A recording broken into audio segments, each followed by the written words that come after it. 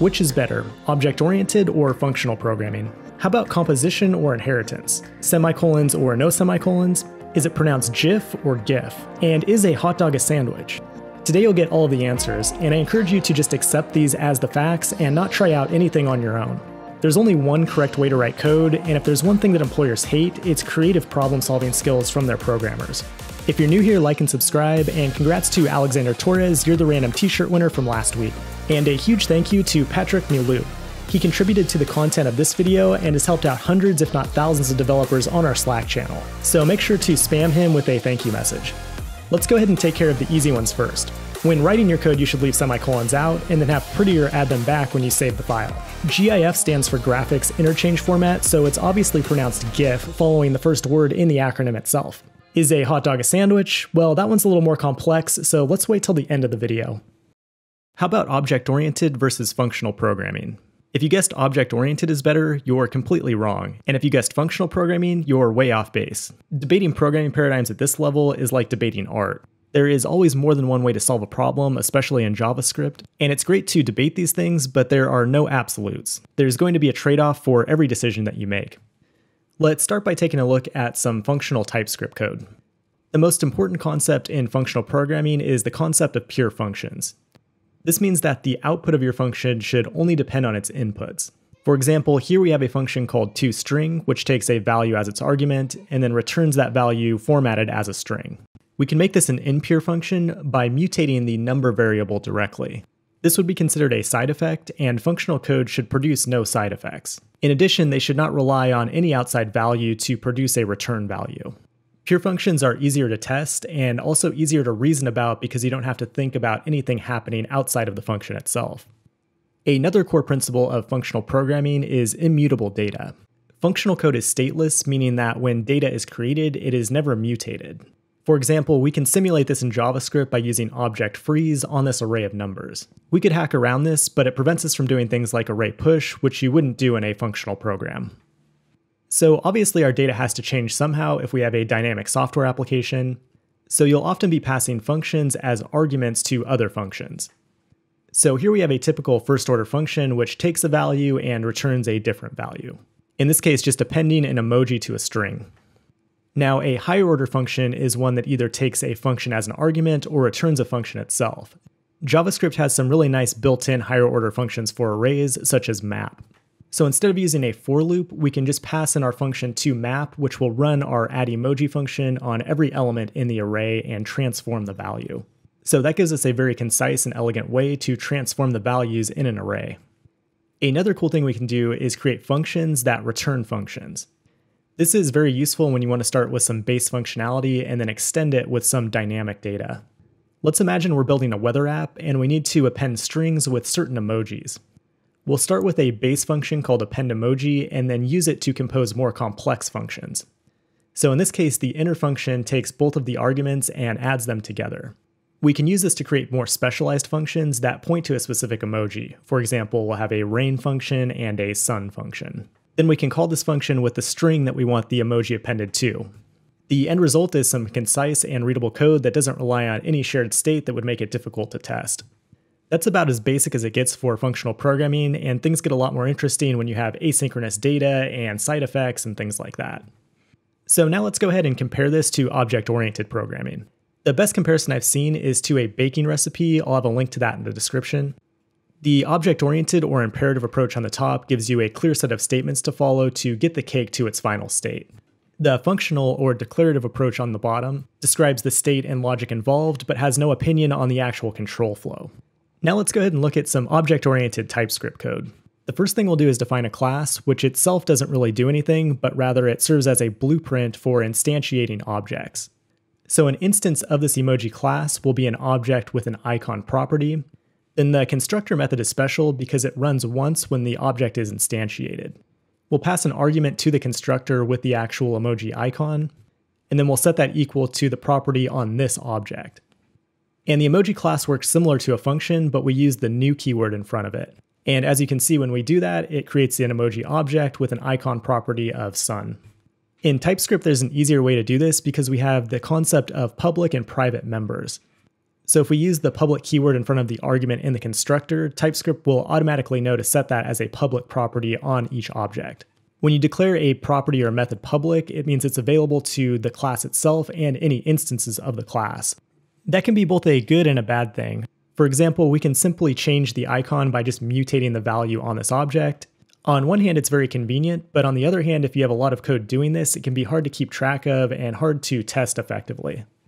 I'd like to point out at this point that classes in JavaScript are actually just syntactic sugar for functions and prototypal inheritance. If we compile our code to ES3, you can see that it's just a function with a closure that prevents the local variables from bleeding out into the global scope. That's just something to be aware of, but TypeScript also provides some tools for us to improve the tooling that we have when writing object-oriented code. For example, we can mark members as private so that they can only be used inside of this class definition. This means that we can separate our public API from internal logic for this class. For example, if we want to make this icon value immutable, we can make it private. Then we'll define a getter so the user can read the value but not change the value. Another important thing to point out here is that class instances can have their own internal state. Let's imagine we have a button where the user can toggle the emoji and maybe go back and forth between different states. This is a really simple thing to implement in object-oriented programming. We'll add another private property to this class called previous and then use a getter to retrieve that value. Then we'll define a change method, which will mutate the actual icon value on this instance. When that happens, we'll first change the previous value to the current icon, and then update the current icon to the new value. On the first console log, we get the sun icon and undefined, and if we mutate the state a couple times, you can see that our internal values on this class instance have changed. So the end result is that we have a class that's encapsulated all the logic for how an emoji should work. And with TypeScript, we automatically have an interface and documentation for this class. Another cool thing you can do with classes is define static methods. The unique thing about a static method is that it's on the class itself and not an instance of a class. So we'll just go ahead and define a static method here, which itself is actually a pure function, and its job is simply to add 1 to the input argument. The cool thing is that we can now use the emoji class as a namespace to run this function.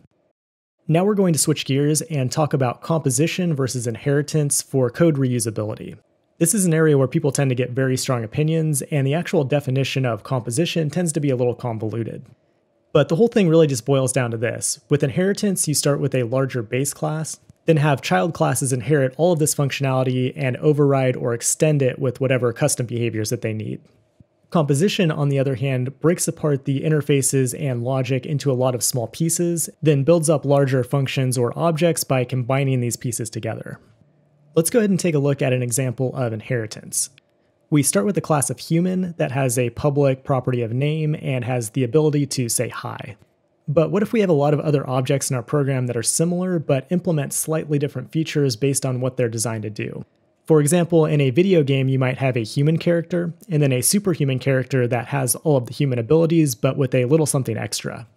In TypeScript, we can simply inherit all of the functionality from the human class by saying superhuman extends human. We do have an argument in the constructor, so we'll also need to add that to the constructor without private or public. Then we call super, which will execute the code in the constructor of the parent class, which in our case is just initializing this name property. At this point, we'll go ahead and define an additional method called superpower. Then we'll create an instance of the superhuman class, and what you'll see here is that it has the superpower method, whereas the regular human does not. But the superhuman can still call all the methods that were defined in the parent class. Inheritance can be great in the right situation, but you want to avoid creating really deeply nested classes because it becomes very hard to debug when things go wrong somewhere in the middle. As an alternative, we can use composition, and there are actually multiple different ways we can apply this pattern. In Angular, we can do it by injecting services into our components, and also at the template level by creating directives. I'm not going to cover that here, but it's just one of the awesome things about Angular that I've covered in many other videos. Another alternative is to concatenate objects together, which I've seen covered in several different articles on the web. The idea here is that you decouple your properties or behaviors into objects or functions that return objects. We can then merge all of these objects together into a final function that does everything that we need it to. This is usually referred to as a mixin pattern, and it's just a certain type of multiple inheritance. So the terminology between composition and inheritance is sort of convoluted. In any case, this mixin pattern can be very powerful. but in its current form, we lose all of the ergonomics of class based object oriented programming. That might be a good or bad thing depending on who you ask, but TypeScript actually gives us the flexibility to use mixins in a class based format. First, I'm going to pull in this really ugly function from the TypeScript docs, which we'll see in use here in just a minute. From there, I'm going to create a couple of small behavior classes that define the individual behaviors instead of trying to encapsulate everything in a single class. So these classes are more concerned with what something does instead of what something is. Now, in the superhero class, there's a very subtle difference from the previous example. Instead of extending the class, we are going to implement multiple classes. When you implement something, you're only concerned about its interface and not its underlying code. It's the apply mixins function that we defined at the very beginning that will actually take these interfaces and apply their code to this class. That does leave us with some extra boilerplate code where we have to actually type the return values on the methods for this class. In this case, we have two methods, say hi and superpower, both of which return strings. And the final step is the requirement to call that apply mixins function with the base class as the first argument and the mixed in classes as the second argument. Now we can finally answer the question, is a hot dog a sandwich? If you use inheritance, then you're going to have to inherit from some base sandwich class, which means it is a sandwich. But if you use composition, then you can just pull in the hot dog in the bun, meaning that it is not a sandwich. I'm going to go ahead and wrap things up there. If this video helped you, please like and subscribe. And I just want to say thank you to everybody for an amazing 2018. I'm super grateful for the community around this channel, and I look forward to pushing things even further in 2019. I'm going to be taking a short break for the next couple weeks, and then I have a video planned for January 1st, so stay tuned for that. I hope everybody has an awesome end of the year, and you can still find me on Slack if you have any questions or need anything at all. Thanks for watching, and I'll talk to you soon.